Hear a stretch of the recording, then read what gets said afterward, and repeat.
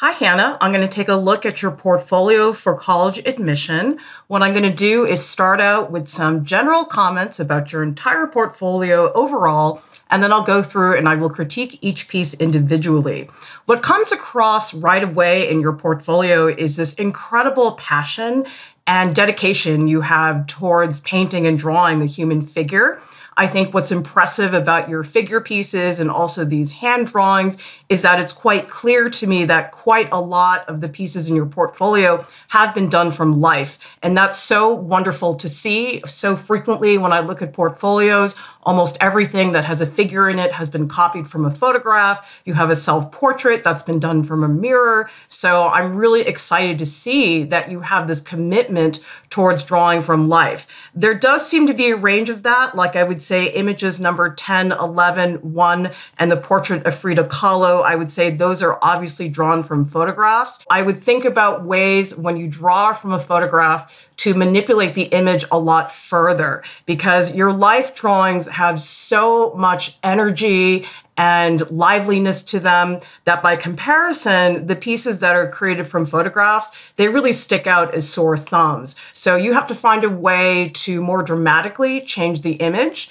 when you are creating a drawing from a photograph because that difference in the pieces in your portfolio is really startling and i think isn't doing so well in terms of comparing one piece to another Another thing that I find really interesting about your work is that your paintings are actually much looser than your drawings, which usually is not the case. Most of the time, when I look at people's drawings and paintings, people have a much easier time being looser, a lot more gestural, much more spontaneous when they're making a drawing. And the tendency is for people to really tighten up when they start to paint. You're actually the opposite. I would say that actually you are tighter and a lot more conservative when it comes to your drawings. And really, I see the experience experimentation and the boldness in your paintings. Like, for example, image number two, I think has a really startling expression to it. You also have this portrait number 17, which is very expressionistic. And then, for example, in the self portrait image number three, you're working with more daring color schemes. So that's really wonderful to see that already at such an early age, you have such a confident command of your brushwork. That's very uncommon for me to be seeing. I was also really happy to see that you have an etching in here, which is image number 16.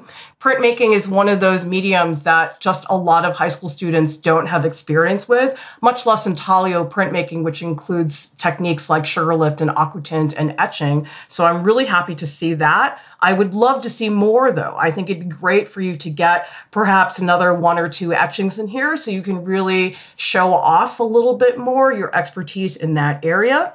Although you do have quite a few black and white pieces, the color pieces are quite prominent in your portfolio. Frequently, I see that students are afraid of color and they don't want to use it in a really dramatic, adventurous way. And I think it's clear when I look at images, say number four and number eight, that you are not shying away from color at all. I'm really glad to see that you're really embracing it as a visual tool for your pieces. Couple things to consider moving forward on developing your portfolio. The first thing is that your passion for figures and portraits is a curse and a blessing. I'm excited that you love the figure and portrait so much. However, you don't want that to become a limitation. And what I'm seeing in your portfolio is that you pretty much are only painting figures and portraits. I would say the one exception would be image number 16, which does seem like it has more of a narrative quality to it. And so you need to really expand your subject matter because you don't want a portfolio that's so specific. You really want to show that you're a little bit more prolific in terms of subject matter. So, for example, if you're painting a portrait or a figure, don't just do that. Maybe add an environment or space for the figure to exist within. So, for example, maybe the figure is sitting in a living room, or maybe it's sitting on a couch, or maybe it's outdoors on a bench. You really need to give the figures more of a context because I'm looking at all of your figure drawings, and pretty much all of them have these very blank, very abstract backgrounds. And so it seems like backgrounds are an area that you're ignoring in a lot of your images. And the thing is, figures really really need a space to exist within because that's another way of communicating what the figure is doing is to show how they are interacting in their spaces and also just to give your paintings and drawings a much greater sense of depth. I would also say it would be really great for you to show your ability to paint objects and to draw objects.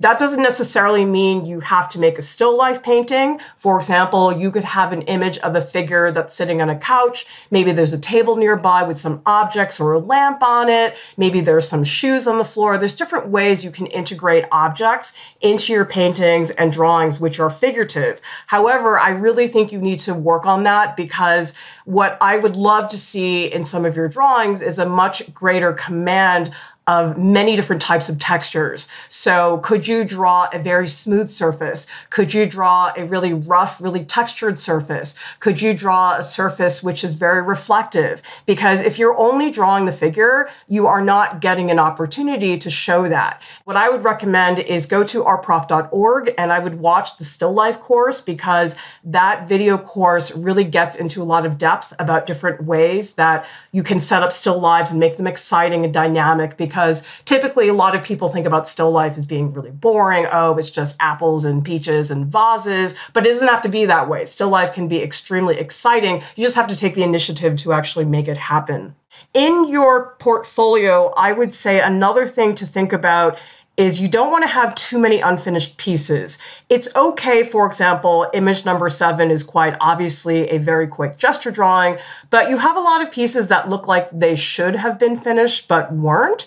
Like I would say image number five seems like it was abandoned too quickly. I would say image number six seems very unresolved. You want to get more pieces that are more complete. Like I would say image number two is very obviously a complete image. It's okay to have gesture drawings like these hand drawings 12, 13, and 14. But to me, 12, 13, and 14 are all basically doing the same thing. And that's sort of a missed opportunity because those are two pieces that could be showing your artistic range. So out of 12, 13, and 14, if you were, say, submitting your portfolio today, I would say take out one of those and put in two new pieces that are very different from each other. You do have a couple sketchbook pieces. So numbers 9, 10, and 11 and looking at those, those don't really feel like sketchbook drawings to me. They feel like they're more complete drawings that just happen to be drawn in a sketchbook.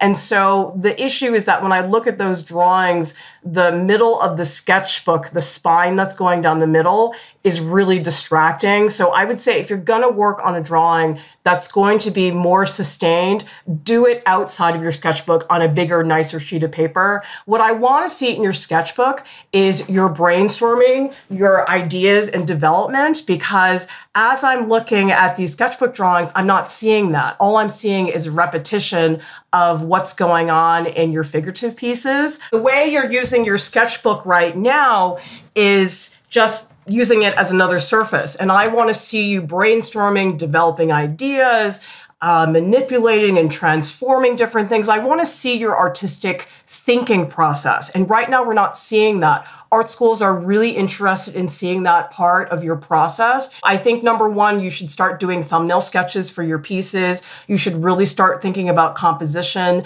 because in pretty much all these pieces, it's the same composition. It's either a portrait or a figure stuck right in the middle of the page with a very blank background. And you need to change that because compositionally speaking, I get the feeling that you're not composing. I get the feeling that the paper is just a surface. So I would definitely consider making a, a very dramatic shift in terms of how you compose pieces. Like, what would happen if you took the figure and you had it in the upper left hand corner? What would happen if you cropped half the size of the face? Because you just don't have a lot of diversity in terms of composition right now. A lot of it's very monotonous. I'd love to see you get a lot more adventurous with mixed media because what I'm seeing is very straightforward. Okay, this is a charcoal drawing, this is an acrylic painting, this is a marker drawing. I mean, what if you started something with charcoal and then maybe added marker nearby and then put charcoal over the marker? Or what if you started with an ink wash drawing and then let it dry and then put charcoal on top of that? So it would be really nice to see you experimenting more with the materials because it seems very limited the way that you're using it. For example, you could think about if you're oil painting, you could get uh, that cold wax medium, which you can mix into the surface of the paint. There's lots of different gel mediums that you can mix if you're using acrylic. Some of them are very thick, some of them are coarse. So just to really expand your ideas in terms of what materials you're using, what I would recommend is go to artprof.org and go to the art supply section because the art supply section has all types of more obscure art supplies that a lot of people don't know about and that you can try out and we have recommendations and really specific information about those. You do have one 3D piece which is image number 15. And I like that you have that 3D piece. However, it's very much a repetition of the hand drawings. It'd be really nice for you to do a sculpture that's a totally different subject. It'd also be nice for you to do maybe another two sculptures, two 3D pieces. We have a lot of 3D projects on artprof.org that are all different media. There's balsa wood, there's metal, there's chipboard, there's foam board. And so for you to really expand your range, in terms of 3D would be great because 3D is one of those mediums. A lot of people don't have it in their college portfolios. And so if you have 3D work that's really strong and really prominent in your portfolio, it really, I think, distinguishes you in a way that other types of media don't do so much. When you draw from a photograph, you tend to tighten up a lot and you tend to overblend. Like, for example, if I look at image number six and seven, I'm guessing that both of those are drawn from life, from a model. Those both have a lot of energy. The marks are very exciting and very direct and very honest image number 10 and 11, I see you sort of blending your drawing to death. You're blending so much that the surface becomes very mushy and it lacks structure. So I would just recommend when you're doing the drawing, just really control the blending because I find that you don't need a lot of blending for a drawing to really work out. And usually when I do blend, I save it for the very end and I'm very careful that I don't blend all over the place because you can easily just smudge your drawing to death. Okay, so let's go through and let's talk about each piece individually. You have two paintings of artists. You have this Rembrandt painting, and you also have Frida Kahlo. I don't think these are good pieces to include in your portfolio because quite obviously they're done from photographs, or maybe you painted them directly from a Rembrandt or a Frida Kahlo painting. Neither option is good. Those references are not helping you very much. And I really see these paintings as just copies and you don't want to do that. You really want to make artwork that's 100% original. I mean, I never thought that being original would make you stand out because, in my opinion, everything you make should be original. But I guess apparently a lot of people don't feel that way. And you're going to get a lot of people who apply to art school who don't have a lot of original work. Be the exception and be the person who creates imagery that's 100% yours, that you really own. Because I can see in this Rembrandt painting that you have beautiful work. Especially, I would say the forehead is probably my favorite part of this painting. There are beautiful strokes in there. You have a lot of layering. I love the blues that are in the face. So, technically speaking, there's some really strong work in this painting. But for me, I can't get past the fact that it's a Rembrandt image either from a painting or an illustration from him quite obvious in this piece that you spent all your time on the face and that you pretty much ignored the rest of it. And I know that the background probably is not as exciting as the face, but you can't show that. You can't show us that you're bored. I can tell that you had so much fun with the face and that you were bored with the rest of the piece. So you need to make sure you're really engaging with every single part of the composition. This is one of my favorite pieces in your portfolio because of the brushwork. I think the brushwork is really outstanding. I think it's really bold. It has a wonderful liveliness to it. It's almost anxious in a way. It makes me think a lot of Alberto Giacometti's oil paintings. He did quite a few of those, which have a very nervous quality to the facial expressions.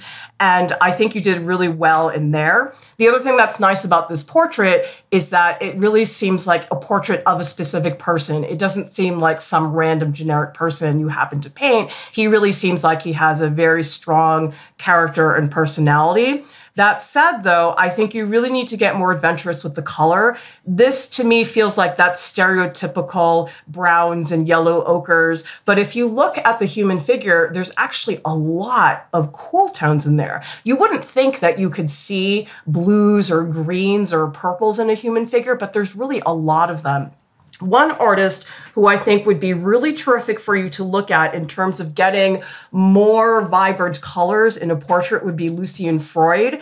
His paintings, if you look at them really quickly, it looks like run of the mill skin tone because it's very convincing. But if you get up real close to a Lucian Freud painting, you will see blue tones, you will see green tones, and they really create just a gorgeous surface of skin. So I'd love to see that because this portrait is too much of the same brown, too much of the same yellow ochre. The other issue I have with this piece is I really don't like the composition because it's about as boring as it gets. You have one face, dead center, it's perfectly symmetrical. You want to avoid symmetry, you want to avoid being right in the middle of the page. Not because those things cannot be good, because they could be good in a specific situation, but the thing is, Right now, I get the feeling that you are not thinking about placement of the subject on the page and that these were not deliberate choices on your part in terms of composition, but rather just a default reaction. And that's usually what I see in high school portfolios is people stick things right in the middle of the page. They make things symmetrical just because they didn't think about composition. So I really want to see you engaging with this because the background is pretty much blank. And to me, it's just as bad as having a blank white background. Like there's just nothing back there. I mean, what if you put an environment or you suggest adjusted architecture back there. There's a million ways that you could really get that to be more exciting. This self portrait I'm excited about because it looks quite large. It says it's 46.8 inches tall. So I'm excited about the ambition of that because there is something about working on a large scale, which is so different than working on a smaller piece. I do think, though, that it's disappointing that this painting looks really unfinished and it looks blatantly unfinished. I think sometimes there's pieces where it's a little bit unclear. Well, maybe it's not, maybe it is. This piece, it's so clear clear that you invested time in the face and then it looks like you went for a cup of coffee and then never came back because the lower half of the painting is so obviously completely unresolved that that's a problem. So I would say that in your paintings, you want to treat every single square inch of the painting as if it really matters because a pattern that I'm starting to see in your painting so far is that you put tons of time in the face and you totally neglect everything else. So it's like you're investing all your time in one spot and then everything else gets left behind. And if you look at great paintings, they're not like that. Like if you look at Géricault's painting, The Raft of the Medusa, there isn't a single section of that painting that looks like it wasn't considered or thought about or composed. So this piece I'm excited about because it has a really strange background. I, I, like how hot and vibrant it is, but I do think you can do more with that. And I do think that maybe if you could work with bigger brushes, that would help you too. I am guessing from looking at your paintings that you are not using a very big brush. And that is the case for a lot of painters. They paint with a medium shaped brush or smaller. I mean, when I paint, I start my paintings with a two inch wide brush, which is very scary for some people, but a big brush will get you to be so much bolder. I see you getting a little fussy in the eyes, particularly. So see if you can loosen up. A big brush will really get you to do that. This self portrait, I think, is much better than the last one. Number one, it looks a lot more complete. But number two, it seems to have more emotion. Like when I look at this self portrait, there's a sterility to the expression. It seems like she isn't doing anything particularly stirring in terms of emotion. This piece, you can see the almost hollow expression in the face. She seems like somebody who's very sad, very morose, and part of it is the slight tilt of the head to the left. And I do like the composition of this much better because she's not dead center. You get the sway of her moving to the left. And also the addition of the hand makes a very big difference as well because that is a really beautiful gesture that you're putting in there. I think one thing you really need to think about though is activating the hair because although there isn't a lot of the hair, hair can be incredibly expressive. And right now, it seems like you're skipping over the hair almost as if it doesn't matter, but it does. It really can make a huge difference in your painting. I would be careful about this yellow that you're placing all over the place. It seems like it's overused. I feel as I look at the painting that it's the same yellow over and over and over again. I don't know if you're mixing with a palette knife, but if you're not and you're mixing with your brushes, get a palette knife because a palette knife, not only is it terrific for mixing colors on your palette, but it's great to paint with. So you can take a palette knife, you can scrape paint on the surface, get a more textured, more loose, exciting mark. And so what I would say with these yellows is just make sure they're a little bit different. Maybe this one over here has a little bit more yellow. This one's a little bit more orange. This one has a little bit more white because once we start to see, oh, she's whipping out that same yellow again, we get very bored very quickly. This portrait seems so underdeveloped that I have trouble having a lot to say about it it seems like a good beginning, but it's so barely worked on that I don't think it should be a portfolio piece. If you have a piece that is obviously a gesture drawing in a life drawing class, I think that's a different story. But this piece I would either take out entirely or I would start it totally. Well, I guess I would just start it over again because there's not a lot that's happening in terms of composition. There's not a lot of expression. And so I tend to be more drawn to the pieces that seem composed and that also seem like they have a much stronger story. This piece, same thing. It's so underdeveloped.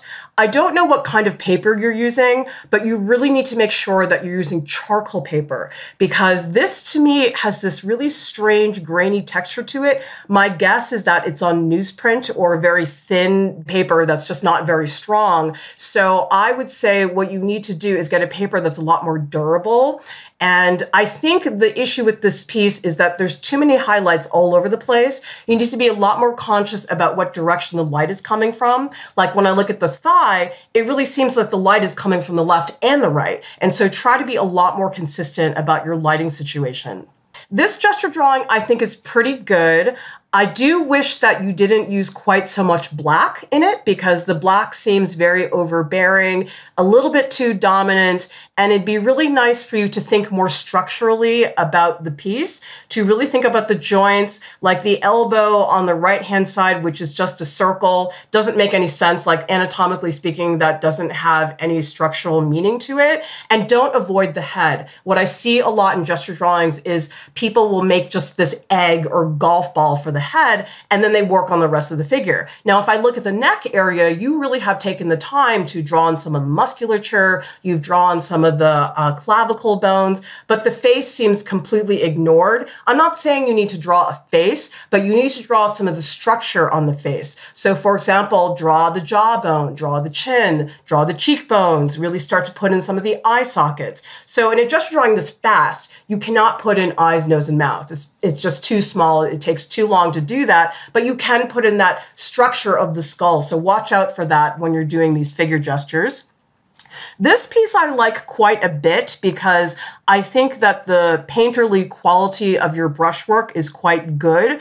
I do think that you should think about mixing your blacks more though. This seems like black out of the tube and I think you can experiment like for example with alizarin crimson, you can mix it with viridian. That makes a very deep purple that looks like black but actually has a little bit more of a dynamic quality to it.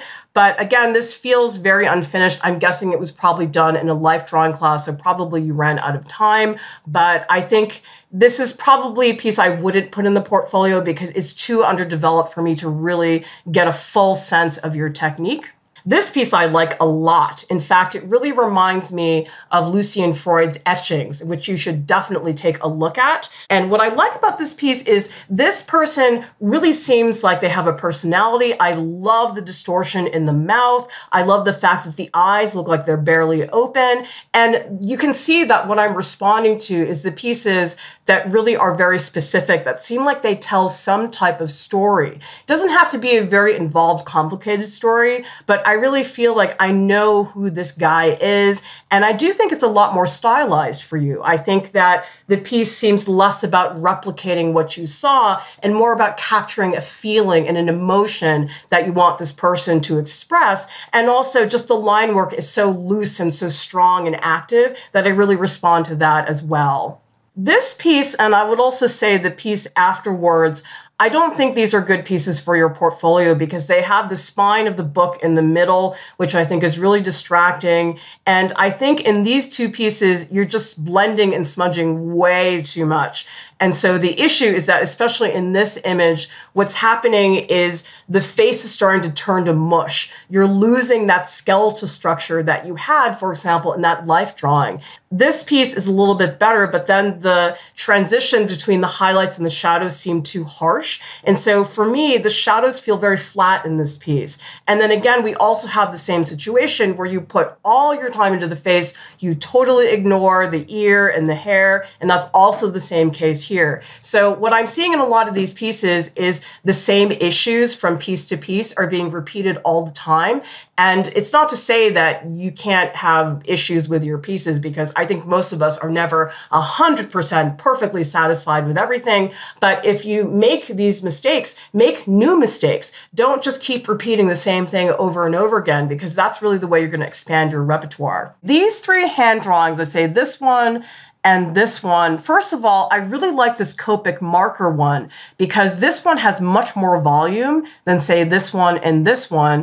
And I think part of it is that Copic markers are so great for blending, but I don't think you've done enough here. I think you can be a lot more adventurous with the Copic markers. I would get a whole bunch that are all different shades, all different colors. It'd be so much fun to see one of these hand drawings just developed a lot more. My guess is that these are drawn from life. Maybe you pose for yourself because it seems like they do have that liveliness that you get when you draw from life. These two, I think, feel pretty flat to me. I feel like there's too much outlining and not enough emphasis on the middle of the piece. This piece, I do like the center of the palm. I think that's quite good.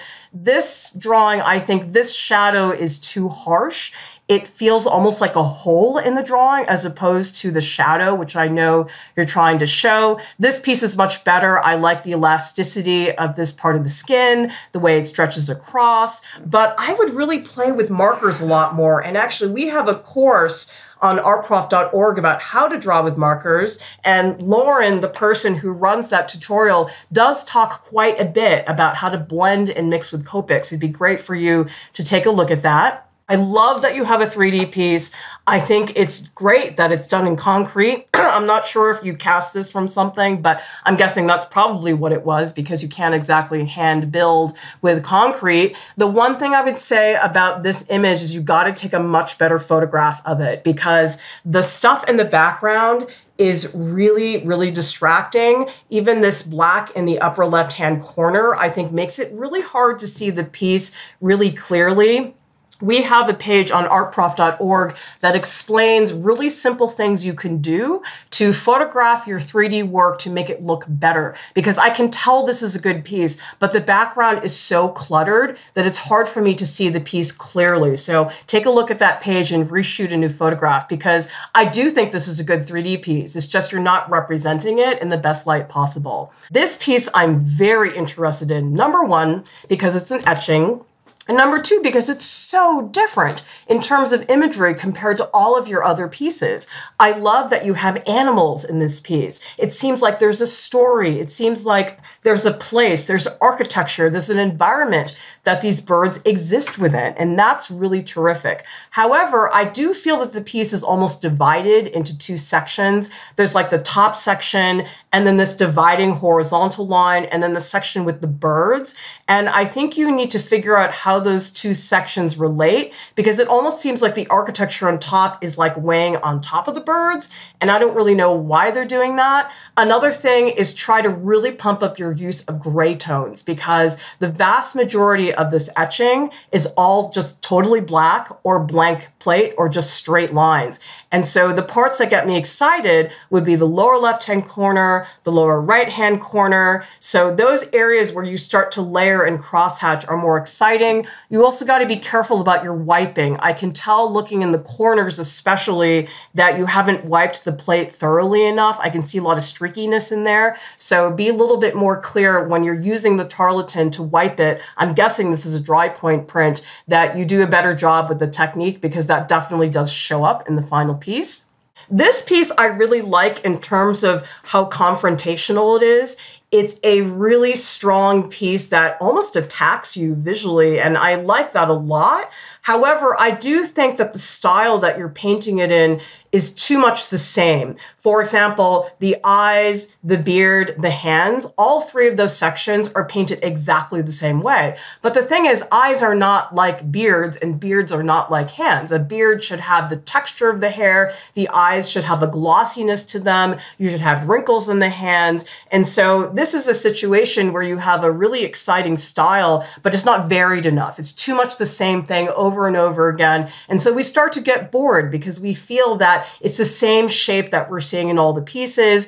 And it also feels like the same blue. I feel like this is a blue that's straight out of the tube. You added black, you added white, there's a little bit of yellow. You have to mix your colors more. It's very clear that you're not doing that very much in this piece. So really get that palette knife and start mixing away. I don't know what kind of palette you're using, but I would really recommend that you make a glass palette because what you do is you take a sheet of foam board, a sheet of gray paper, and a sheet of glass, and you put foam board and then the gray paper on top and then the glass on top, and then you tape together the sides with duct tape. And a glass palette is very permanent and it's really easy to mix and clean. So a palette's very important to get because if you don't have a good palette, it's impossible to mix when you're painting. This piece with Frida Kahlo, I think, suffers from the same issues that I talked about in the Rembrandt piece. This piece, I'm guessing, is also done from a photograph, but I think it's more exciting in terms of the brushwork. I think particularly it seems like you engage with the hair a lot more. But similar thing, I'm seeing the exact same brushstroke, and I think really take advantage of the clothing. The clothing here is very expressive. You've got all these folds and all these shapes. It would be really nice for you to prioritize something other than the face in your portraits.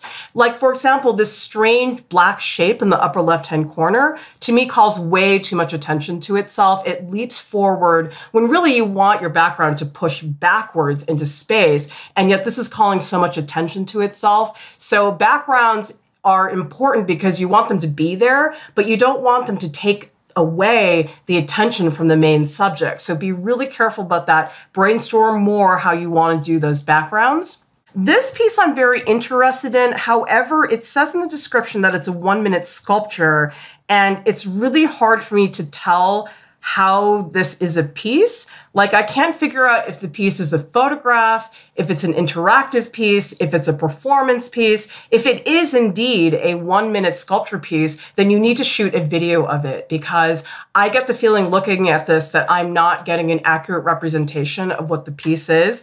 I love the idea of you having a video and having a one minute sculpture, but I feel like your presentation of the idea is quite confusing. So you really want to make sure that when you're showing your pieces that somebody really gets what it actually is.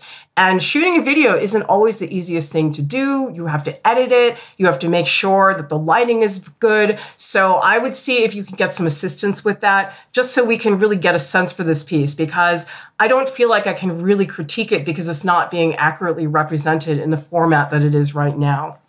I think, Hannah, you have a lot of great things going for you. I think your dedication, your passion for art definitely comes through in your portfolio. And I can see that you are somebody who has a very strong work ethic. And all of those things are going to benefit you tremendously. But what I think you really need to work on is diversity in terms of your materials you're working with, in terms of your subject matter. And I think in general, you just have to be a lot more experimental. I see you doing the same thing over and over and over again. And while practicing things is important, at this stage in your artistic development, you don't want to limit yourself in that way. You want to try a painting and put wax on it. Try a collage and paint on top of that. Make a 3D piece out of chipboard that you paint and collage on. There's a million different options for how you can do that. So I would really consider how much more you can expand your range. And probably what's going to happen is you're going to make a bunch of pieces that you don't like. And that's fine. You have to do that. You have to make bad pieces if you want to make good pieces. And so it's very time consuming, but I think ultimately it's really going to be worth your time because somebody with your passion combined with that level of diversity and experimentation, that's going to be a really wonderful combination of skills for you to have.